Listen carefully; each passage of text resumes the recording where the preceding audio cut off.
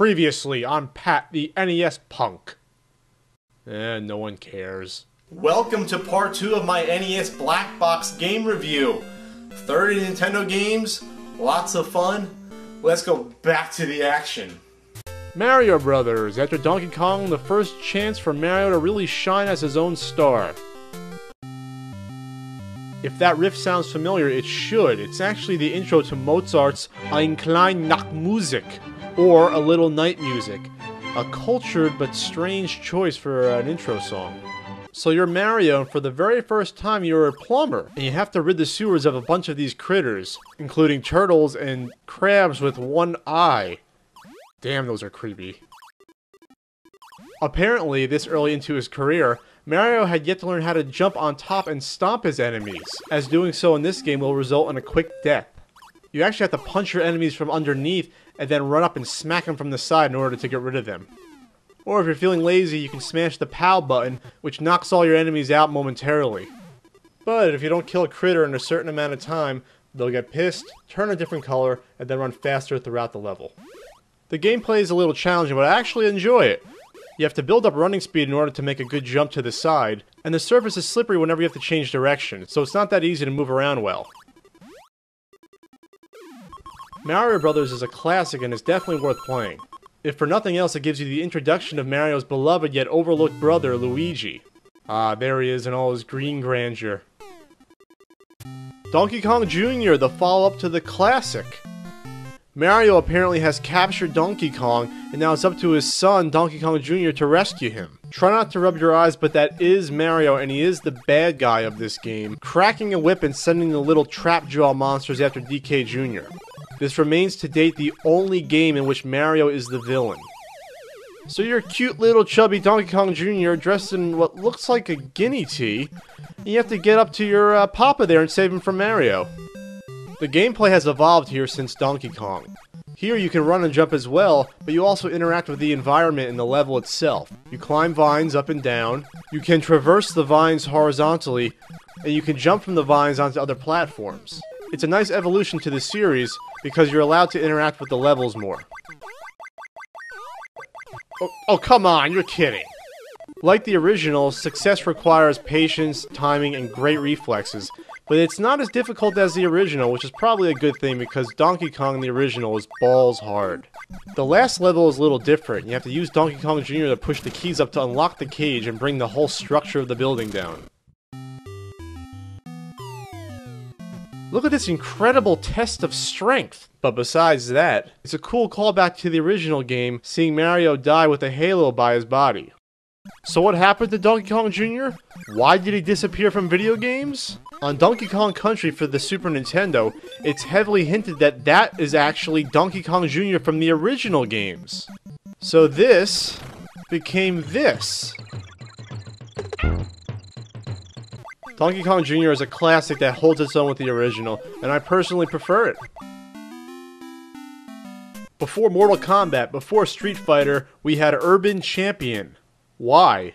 Urban Champion is a one-on-one -on -one fighting game where you have to protect your turf. I'd be sure to risk my life to protect the discount shop and snack bar as well.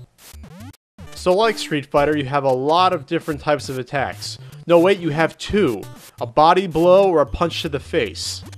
You can move your hands up or down the block, and the attacks come in two varieties. There's a quick punch that does little damage, or a slower and more powerful punch that will actually knock your opponent down. Unlike later fighting games, the object is not to deplete your enemy's health, but actually win the round by knocking him into an open manhole. And no, I will not make a Village People reference. There's not much else going on here. You have various people who'll try to drop objects on your head in order to hurt you. But that's all the gameplay variety you'll see, unfortunately. It's just a slow and simple experience. look at those expressions of pain. Oof! I felt that way when I played Stack Up. But at least when you win a fight, it's fun. You get this strange woman dropping confetti in the street. Hooray! Street violence! Hogan's Alley, a light gun game. And no, it's not a scary place where you might see this guy.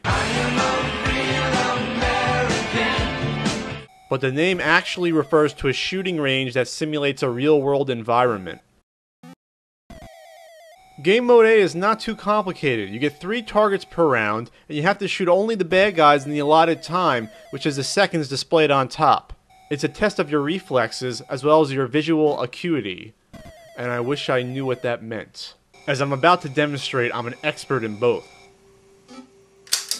Ah, whoops, hit the cop. That's not good. You keep playing until you get 10 misses, which occurs by either failing to shoot the gangsters or shooting the innocent bystanders.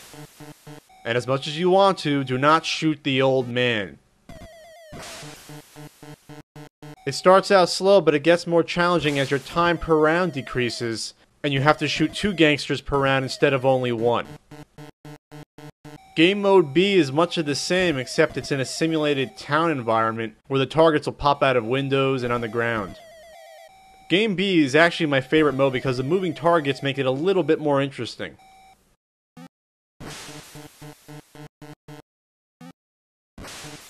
Why do I keep shooting that old man?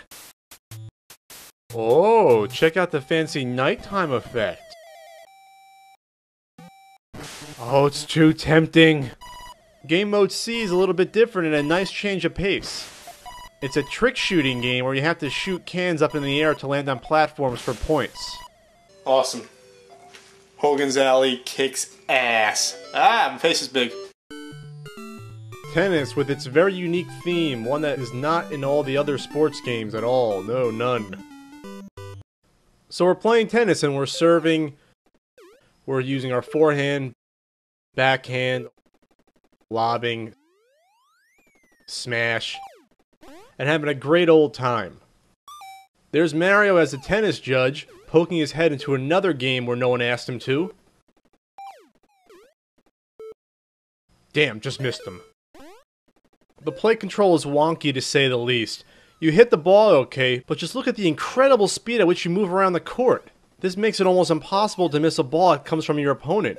In fact, you'll probably lose most of your points either by hitting the ball out or having the ball hitting you due to you moving so fast and not be able to get into proper position. The player's speed makes Michael Chang look like Boris Becker. oh, oh, 1991 tennis humor. Oh. Because of this, it doesn't really simulate tennis. It's hard to get a passing winner on your opponent, with volleys lasting forever sometimes, and you'll find yourself winning your points only if your opponent just flat out misses the ball when he swings.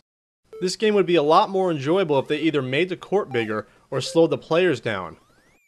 And that's about it for tennis. You can play singles or doubles, but there's no tournament mode, there's no moving on when you win or lose. It's just one game. Donkey Kong 3 and the end of the trilogy.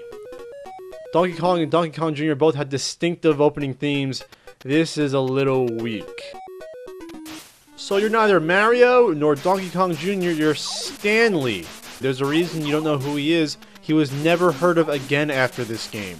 So as Stanley, you're in the greenhouse and you're defending your flowers from the bugs and also have to fend off Donkey Kong who hangs on the vines.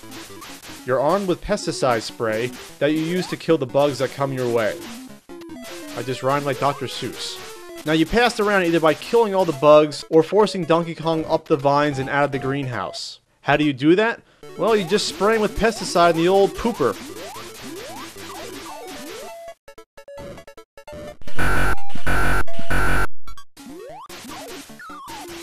Oh yeah, and the coconut in my face. Yeah, that hurt. Thanks a lot, Donkey Kong. The control in this game's a little disappointing. All you can really do with Stanley is move him left and right, jump him up, and use your spray. But the flying insects can often get behind you and around, then there's no way to hit them. You have to wait until they get in front of you again in order to spray them. Look at this, I'm totally screwed. I have to avoid the bugs, but there's no way not to get hit here.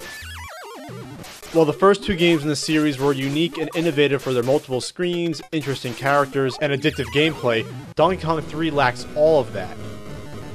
Kung Fu, a port of the 1984 arcade game Kung Fu Master.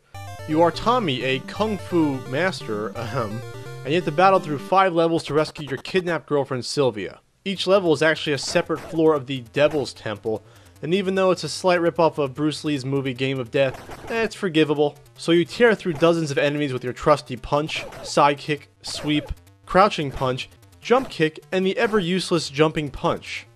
Seriously, why even have that move in the game? There's a nice variety of enemies. You have your standard thugs who just give you a nice tight hug and somehow drain your energy, knife throwers, and midgets called tom-toms. Oh, excuse me, little people. Each of the five floors has its own unique boss. For example, a guy with a stick, a cool magician where you can kick his head off and he doesn't die, and Michael Clarke Duncan. If a boss manages to defeat you, you'll hear a nice, scary laugh. Plowing through the enemies may seem repetitive in theory, but the quick action keeps things flowing well. There's also a couple levels that have traps that keep things fresh as well. On the second level you have snakes and fire-breathing dragons to avoid. And on the fourth floor you have to stay away from killer mutant moths. Aww, they're so cute! In between a few of the levels you'll be reminded what exactly you're fighting for. Sylvia bound up in a chair. Is it wrong if I get turned on by this?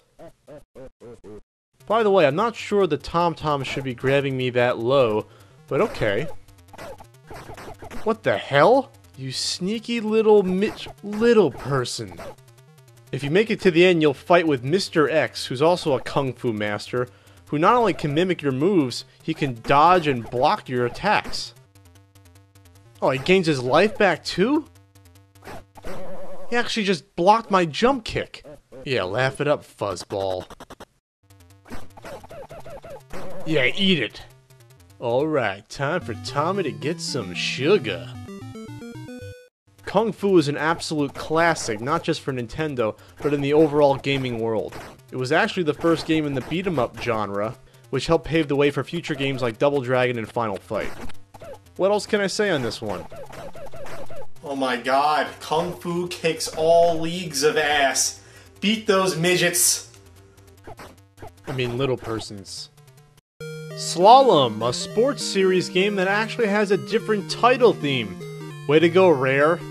You start off by choosing from one of three mountain courses. You have Snowy Hill, Steep Peak, and Mount Nasty, which sounds like it should belong in a Panesian game, actually. So you're skiing down a very long course, and you're dressed in what looks like red long john pajamas. You also wear what looks like to be the shortest skis ever created. They barely go past the skier's boot. So you have to beat the time to keep going, and you have to do that by avoiding the trees and the other skiers that you fly by. The play control's a little iffy as you ski left and right. It's slippery and pretty difficult to actually slalom through the poles. You can jump whenever you want to, which doesn't make a difference as there's not really much to jump over besides little hills that make you jump anyway. And you can tuck to go quicker, even though it's a nice moon to us. And that's exactly how I feel when I play this game. Like someone is mooning me the entire time. As for actually doing the slalom, it really just slows you down. You don't have to. You don't get any points for missing like you would in a real slalom event. So you're better off just skipping them and just getting through the course the best you can. The later courses just get ridiculous. Besides the hills, trees, and skiers, you not only have to contend with little kids on sleds, but also snowmen, even lined up in a row. What type of ski resort is this? Are you kidding me? Do those kids want to die? Oh my god, get out of my way! You almost don't want to finish the race though, because this is why. Holy hell! It was bad enough seeing that pajama outfit from the back. Gyromite, or Robot Gyro. The name of the game is different than the name on the title screen. This must be a special rule with the Rob games. Now, I'm really not in the mood to set up Rob and play him because half the time it doesn't work. It really does, and you got problems.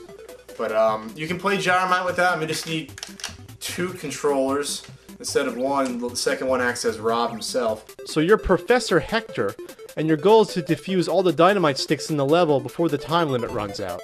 Each level contains hanging ropes that you can climb up and down, as well as columns that get in your way, and that's where Rob comes in. Either by using Rob or the second controller directly, you can raise the blue and red columns up and down. You can do this so Professor Hector can get by, or to smash your enemies. Yeah, that probably hurt a little. You have to be careful though because you can smash yourself very easily with the columns. There's only one type of enemy unfortunately, and that's the little mutant lizards named Smicks. They'll come after you, but you can grab a radish and lay it on the ground, where the Smicks will just chomp at it, allowing you to pass safely. For a game that has to do with defusing lots of dynamite bombs, it has a cute little song.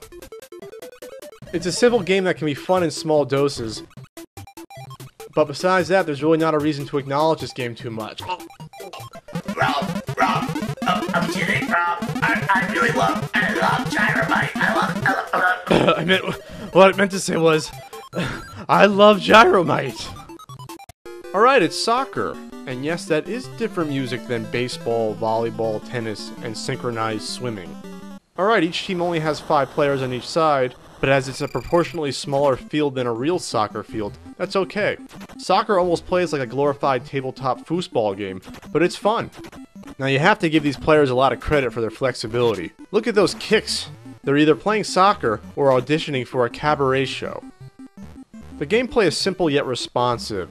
Like you would expect in a soccer game, you can dribble the ball, pass it, or shoot. Now the dribbling's a little staccato-like. You run up to the ball, you kick it once, the ball goes forward, and you follow it. It sort of simulates really dribbling in soccer, except for that galosh stepping in mud sound effect it makes when you kick the ball. There's not much in terms of strategy you have to employ to score in this game. Simply pass the ball behind the defense, run up with your nearest player, get out in the open, and it's usually an easy score. Playing on level 2, I could pretty much score at will, and the computer wasn't much of a challenge. I managed to score a whopping 8 goals in one game, which if you check on it was actually more goals scored in all the games played in the last World Cup combined. There's not a whole lot you can do on defense. You can select the player closest to the ball, and then try to run up and kick it away from the offense. Like in ice hockey for the NES, you can control the goalie to make saves, and dive for the ball, which is pretty cool. Where soccer disappoints is the fact that you can only play one game at a time. There's no tournament mode, and it's not like you can even defeat all the teams in a row. It's one and done. Wild Gunman, a Zapper game set in the Old West. Yeehaw! Game A is a showdown with one gunman at a time. He'll stroll out and tell you to fire. As long as you hit him in the allotted time, you're okay. That's all it is, basically. Even though you're not required, I'd recommend actually having to quick draw your zapper then shooting. Or else there's no challenge at all keeping the zapper pointing at the guy the whole time until he says fire.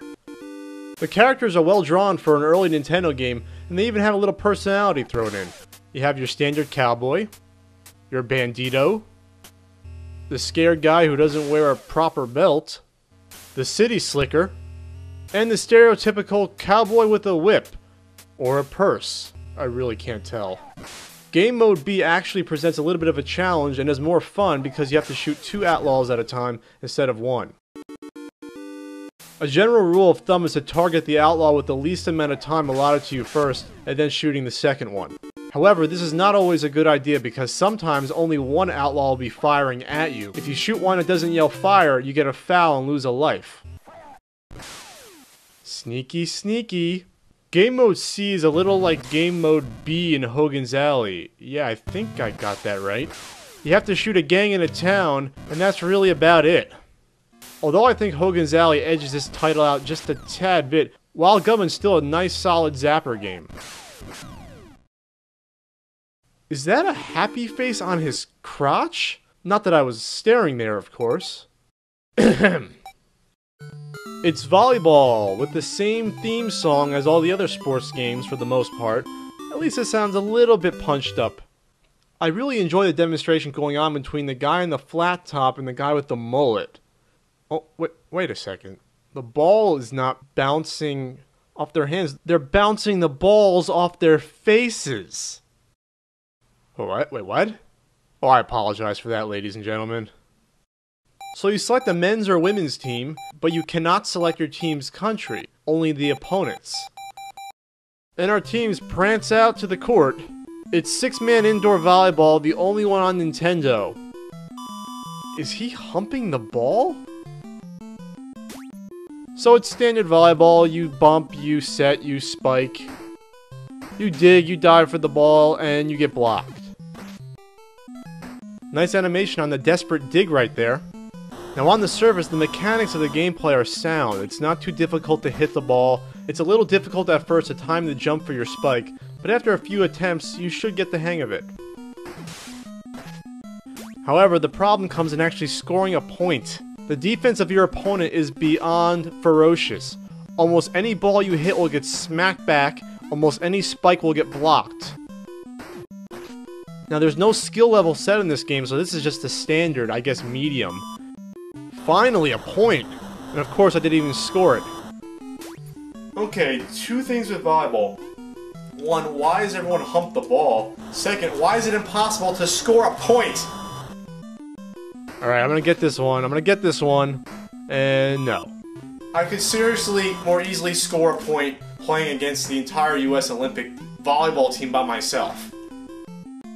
And that music is just way too happy, especially when you're getting a beating, like I am. Alright, I'm down to match point. Can I come back? Will I come back?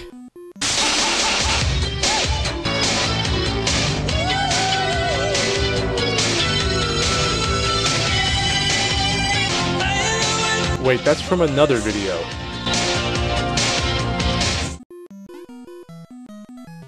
Uh, just forget it. Balloon Fight, part of the action series. At its heart, Balloon Fight is actually a variation on the arcade classic Joust, except here you're replacing an ostrich for balloons as your means of transportation.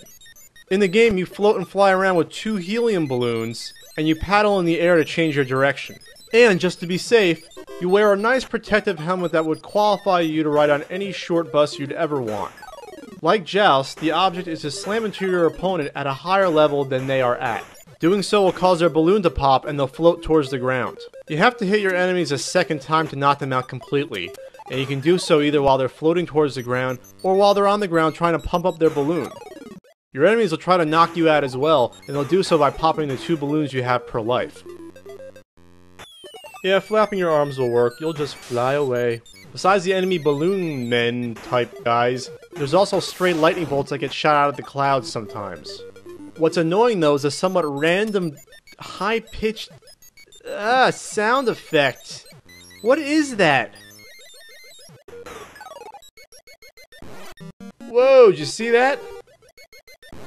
That's a little gruesome. The balloon trip is a nice change of pace, and it's quite a challenge. Here you only have one life, and you have to just make it through an obstacle course of random lightning bolts that move in a pattern. Whoa, whoa. Ah!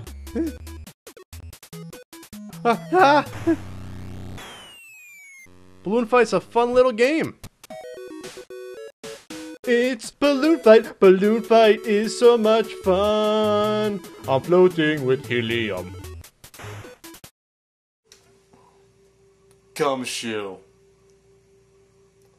A zapper game where you have to actually shoot the guy to move him.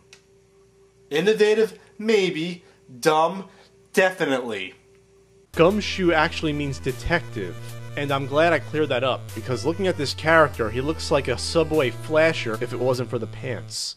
So the story in Gumshoe, like it matters, is to rescue your daughter from King Dom in exchange for five Black Panther diamonds.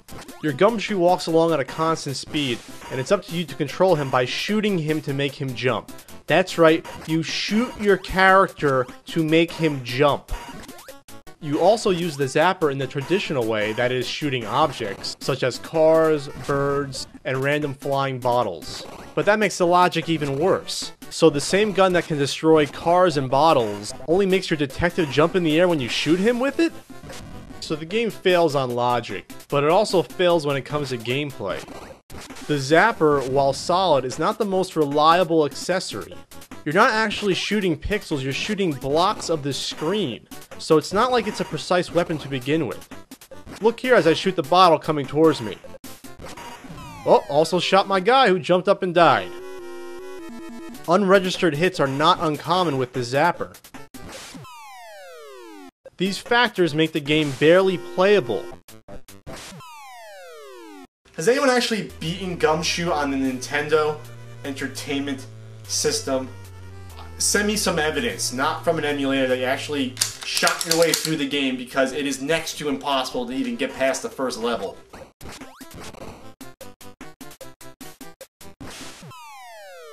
Oh Gumshoe, how I hate thee. Pro Wrestling, a game loaded with detail and personality.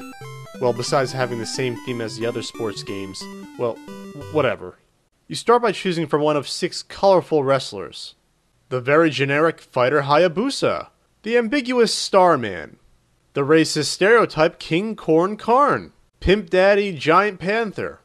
The Amazon, who would later be ripped off by Capcom, it looks like. And King Slender, the good old American white wrestler.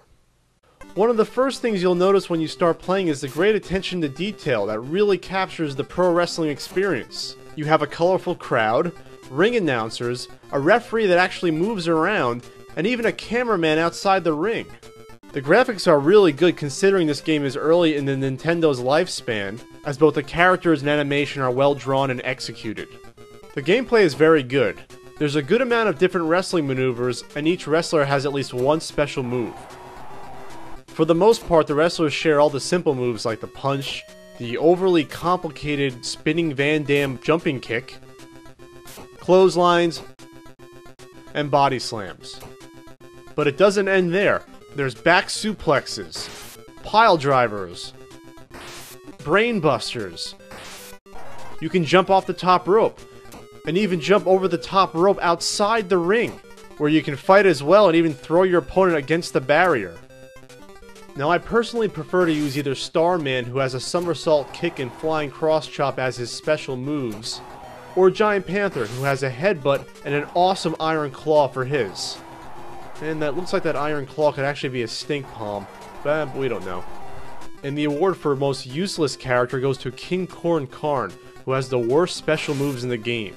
His standard karate kick, and the awful Mongolian chop, which is not only difficult to actually hit, but only does the same damage as a normal punch. What's the point?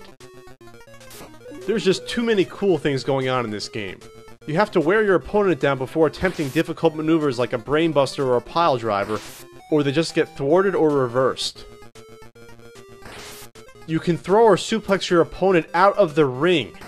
Badass.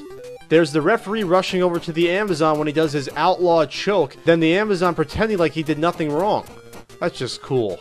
And of course, the seizure inducing crowd applause when you win a match. Pro Wrestling is an outstanding black box game, and light years ahead of the other original sports games in terms of graphics, gameplay, and attention to detail. It even surpasses a lot of the other NES wrestling games, which came years later. And yes, a winner is indeed me. Well, that's it. I'm done. 30 black box game reviews. I want to thank my friends Rob, DK, DK Jr. for coming out, hanging with me, and I'll see you next time with another wacky game review.